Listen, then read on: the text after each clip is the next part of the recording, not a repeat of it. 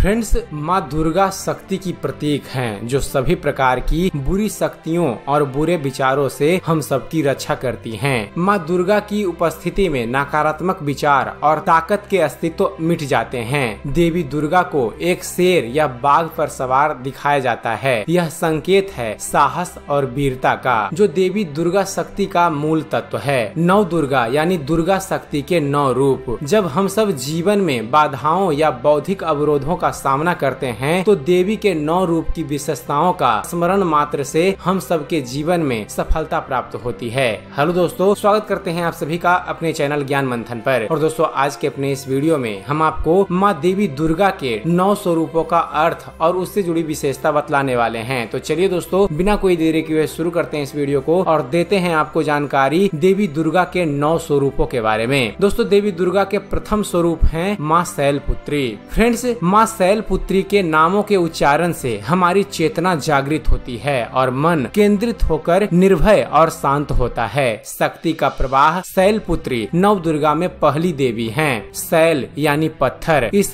रूप को शैल शिखर भी कहा जाता है। माँ शैल पुत्री पर्वत शिखर की बेटी है। माँ दुर्गा का दूसरा रूप है ब्रह्मचारिणी। ब्रह्मा का अर्थ है अनंत और चर्य का अर्थ है चलना। यहाँ ब्रह्मचर्य का अर्थ हुआ अनंत में चलना। स्वयं को मात्र शरीर नहीं मानना चाहिए। हम अपनी विस्तृत प्रकृति को जाने और स्वयं को एक प्रकाश पुंज माने। संसार में आप कुछ इस तरह चले जैसे कि आप ही ब्रह्मांड हो। आप जितना खुश होंगे, आपको अपनी काया का उतना ही कम एहसास होगा। देवी की विशेषताओं का आवाहन करने के लिए हमारी चेतना अनंत में विस्तार पाती है और अनंत में विचरण करने लगती है। उस स्थिति में आप बहुत जोश और साहस महसूस करेंगे। शक्ति के विशुद्ध रूप को दर्शाते हुए देवी को कुमारी के रूप में दिखाया गया है, जो स्वतंत्र व नवीन है और जो किसी के नियंत्रण में नहीं है। माँ दुर्गा का तीसरा स्वरूप है माँ चंद्र घंटा फ्रेंड्स, नवरात्रि के तीसरे दिन देवी चंद्र घंटा की आराधना की जाती है। यह देवी घंटे के आकार का चंद्रमा धारण करती हैं। चंद्रमा का संबंध बुद्धि से है और घंटा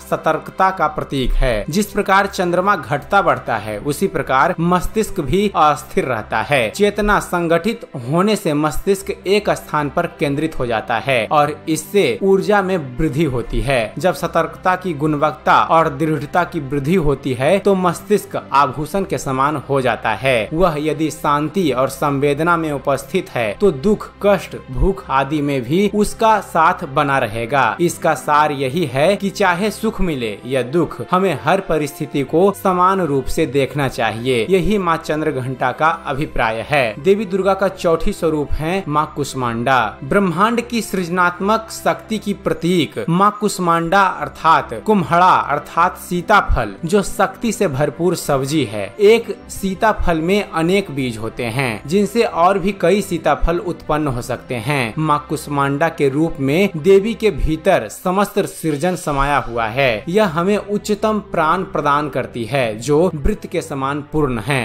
प्रकट और अप्रकट दोनों ही सूक्ष्म से विशाल तक। माँ कुष्मांडा को कु यानी छोटा और स यानी ऊर्जा, यह ब्रह्मांड ऊर्जा से व्याप्त है। एक छोटा सा बीज पूरा फल बन जाता है और फिर फल बीज में बदल जाता है। हमारे भीतर की शक्ति की एक विशेषता है कि यह सूक्ष्म से सूक्ष्मतम और विशाल से विशालतम हो जाती है। देवी दुर्गा की पांचवी स्वरूप है माँ स्कंद माता स्कंद या प्रभु सुब्रमण्यम की माँ स्कंद माता कहलाती हैं। गोद में बालक स्कंद को लिए माता को शेर पर सवार दिखाया जाता है। इनका यह रूप साहस और करुणा का प्रतीक है। स्कंद अर्थात कुशल। स्कंद भी हमारे जीवन में ज्ञान और क्रियाशीलता के एक साथ आने के भाव को दर्शाता है। यदि जीवन में कठिन परिस्थिति आती है तो क्या करना चाहिए? समस्या के समाधान के लिए हमें अपने ज्ञान का इस्तेमाल करना चाहिए। जब आप बुद्धिमता से कार्य करते हैं, तब स्कंद तत्व प्रकट होता है। स्कंद माता कौशल, करुणा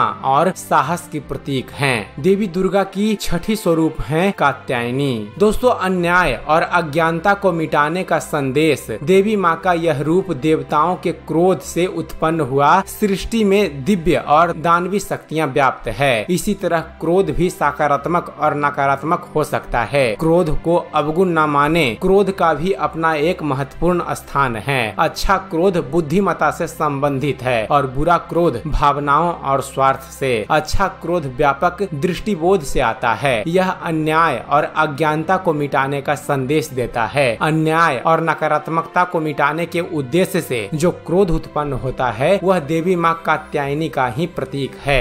देवी दुर्गा की सातवीं स्वरूप है माँ काल रात्रि जो ज्ञान और तटस्थता का संदेश देती हैं। दोस्तों, काल अर्थात समय। सृष्टि में घटित होने वाली सभी घटनाओं का साक्षी है समय। रात्रि अर्थात गहन विश्राम या पूर्ण विश्राम। तन, मन और आत्मा के स्तर पर आराम। बिना विश्राम पाए आप दीप्तिमान कैसे होंगे? माँ, काल रात्रि गहनतम विश्राम के उस स्तर का प्रतीक है जिससे आप जोश पा सके। ये देवी आपको ज्ञान और तटस्थता प्रदान करती है। माँ, दुर्गा की आठवीं स्वरूप है। माँ माँ महागौरी। परमानंद और मोक्ष प्रदाता देवी के इस स्वरूप में ज्ञान गमन प्राप्ति और मोक्ष का संदेश छिपा है। माँ महागौरी हमें विवेक प्रदान करती हैं, जो जीवन सुधा समान है। निष्कपटता से शुद्धता प्रकट होती है। माँ महागौरी प्रतिभा और निष्कपटता का मिश्रण है। ये परमानंद और मोक्ष प्रदान करती हैं। और माँ देवी दुर्गा की नौमी स्वरूप है माता सिद्धिदात्री। दोस्तों सभी सिद्धियों की दाता माँ दुर्गा के नौ नौमी स्वरूप माता सिद्धिदात्री का है। ये सभी प्रकार की सिद्धियों को देने वाली हैं। इनकी पूजा करने से व्यक्ति को सभी सिद्धियाँ प्राप्त हो जाती है। इस पूरे संसार में उसके लिए कुछ अप्राप्य नहीं होता है। उसमें इस ब्रह्मांड पर विजय प्राप्त कर लेने की क्षमता आ जाती है। तो दोस्तों, यह थी जानकारी माँ देवी दुर्गा के नौ स्वरूपों से जुड़ी हुई। और चलते चलते दोस्तों, आप सभी को